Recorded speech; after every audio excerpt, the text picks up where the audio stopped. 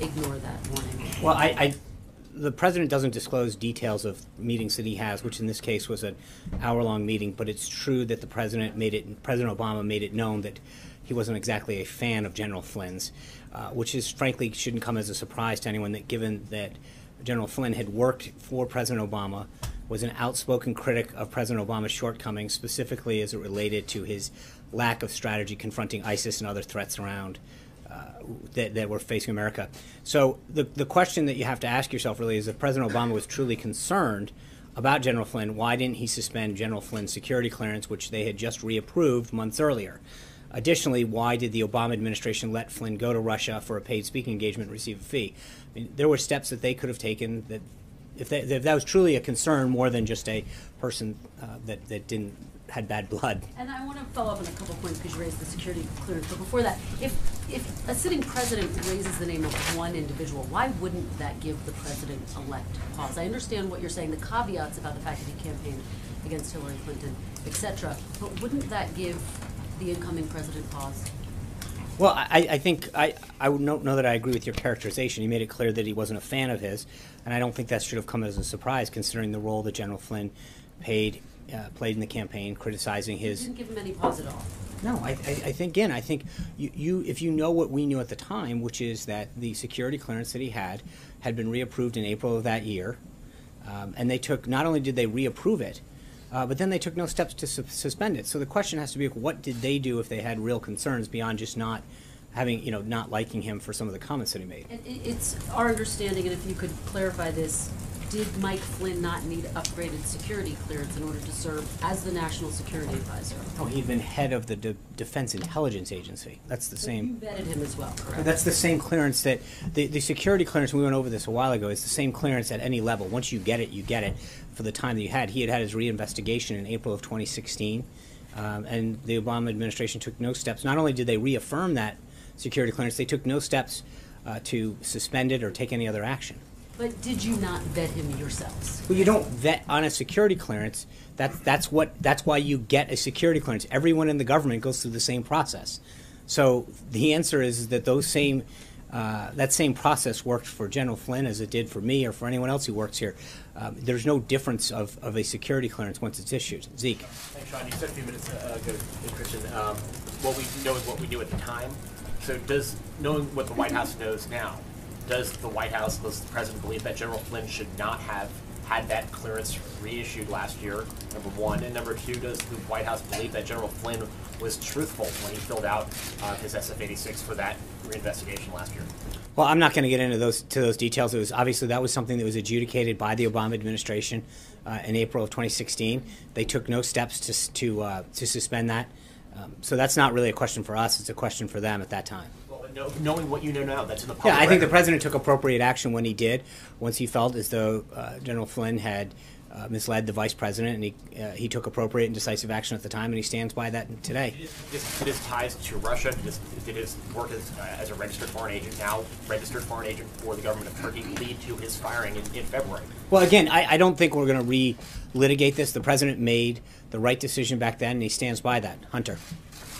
Thanks, Sean. Um, the president tweeted this morning that senators on the Intelligence Committee should ask Sally Yates about her role in classified leaks about General Flynn. Does the president have evidence that ties Sally Yates to the Flynn leaks? Why did he tweet that? Well, I think you guys uh, are well aware of the president's concern about spills of, of uh, classified and other sensitive information out into the open. Uh, it's something that should concern every American, and the president's made it very clear uh, for since his since he took office that, that that's a big concern of his. Um, and so the idea that classified information made its way into the press is something that I think, while we're asking all of these questions, is one of the ones that I think the senator should ask. How did that information um, get get out into the to the open like that? I think that is an equally important question that, frankly, isn't getting asked. But does the president believe that Sally Yates was the leaker in this? specific I, again, I think that the, the tweet speaks for itself. What he's saying is that the Senate should ask those questions. Yeah. Thanks, Sean. Ahead of her testimony today, does President Trump believe Sally Yates is a trustworthy source of information? But that's not up for us to decide. I mean, that is up to the Senate to decide whether or not what she what she does, and we'll we'll have to wait and see what that. And, and following up on Sarah's question, it seemed that the president was implying that Sally Yates may have had something to do with the leaked information to newspapers. Is that what he was implying? I think the tweet speaks for itself. I don't think sometimes you don't have to read too much into it. Richard. Thanks a lot, Sean. Did Sally Yates have to run any of her planned testimony by the general counsel's office that she'll deliver later this afternoon? I'm not aware of it. No. And also, um, do you have any reason to doubt that uh, her testimony, which will be under oath, will be truthful before the Senate uh, subcommittee? I, I have no. I mean, no. I, I would assume that when you raise your right hand and uh, agree to tell the truth and nothing but the truth, that you'll you'll do that. That's the whole reason that you pledge. Two questions as it relates to uh, President Trump and former President Obama. Back to that November conversation, were there specific reasons given, and if so, as, as it relates to Michael Flynn, and if so, was that based on private information? I, I don't know the answer to that. I, I know that, like I said, um, he passed along exactly what I mentioned to Kristen at the outset, and that, that's, that's all I second, know. Sean, Sean, Sean, secondly, Sean, secondly, Michael.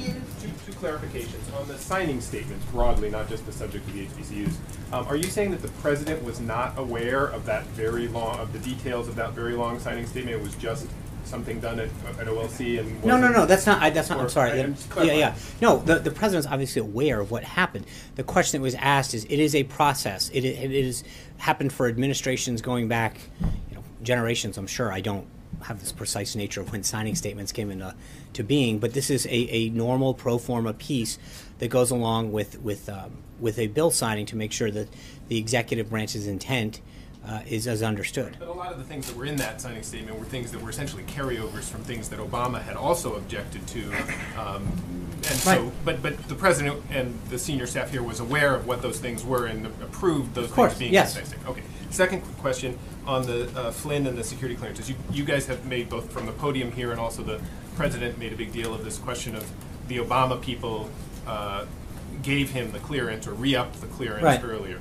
Um, are you suggesting now, knowing what you guys know with the with with hindsight and whatever, are you saying that they should have? You believe that the Obama administration should have denied him his clearance back in April based on the information that, that you're now aware of, uh, connections with Russia, et cetera, et cetera? Are you suggesting that they should have denied it? No, what I'm suggesting is is that you can't have it both ways. The the folks who are coming out and saying Obama, you know, expressed some concern about Flynn. Well, number one, it was pretty expected. This is a guy who uh, was very outspoken in his criticism of, of President Obama's policies. So the idea that President Obama uh, you know didn't didn't didn't like the guy doesn't seem shocking. But the point that you have to ask yourself is if you if the Obama administration or under the Obama administration, if they reissued a high, that one of the highest security clearances that you can get, knowing what they knew then, and then didn't do anything to take a proactive steps to suspend it in any way, shape, or form, the question you have to ask yourself is: if they were concerned, why didn't they take any steps? We they're, the ones who had at that point all the access and all the knowledge to everything that was on his SF-86 security clearance, not us. So if President Obama or anyone else, frankly, in the government was concerned, the question should be asked: What did they do? And if nothing, then why not? If they really truly were concerned, I think that is a fair question. Dave, Dave, Dave, Dave, Dave, Dave. Over the weekend, Sean, over the weekend, uh, North Korea uh, detained a fourth U.S. citizen. Um, Are you, are you concerned that they're trying to escalate tensions even further? Uh, Do you consider these Americans hostages? And what are you doing diplomatically, back channel or otherwise, to try and get them released? Yeah, obviously this is concerning. Uh, we're well aware of it, uh, and we're going to work through the embassy of Sweden that has a facility in North Korea uh, or an embassy in North Korea uh, through our State Department to seek the release of the individuals there. But I would refer you to the State Department on that. Sean, thanks very much. Um, just to follow up on your answer on Afghanistan, you mentioned ISIS, but you didn't mention the Taliban. Should we read that to mean No, that no. the focus will be on ISIS? No, it's it's to defeat both the ISIS and Taliban. Uh, I mean, there's no. It's it's to make sure that we put our national security interests first uh, and defeat all of those uh, se- folks that seek to do us harm. Are you willing to negotiate with the Taliban? I, I look. Let's. I think right now the whole point of this is the president is receiving uh, a plan and guidance from his national security team, as he had asked for. Uh, that guidance is coming forward um, as we speak. He's continuing to meet with them, um, and there will be further updates from the Department of Defense as we move forward.